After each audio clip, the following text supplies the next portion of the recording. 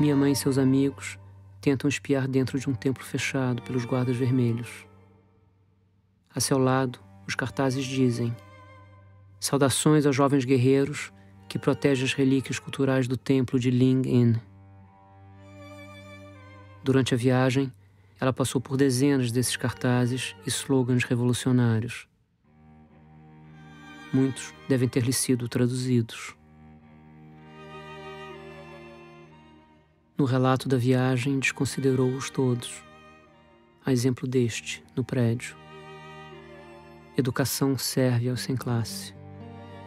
Ou, o povo heróico do Vietnã vencerá e os vis americanos serão derrotados, na fachada da escola.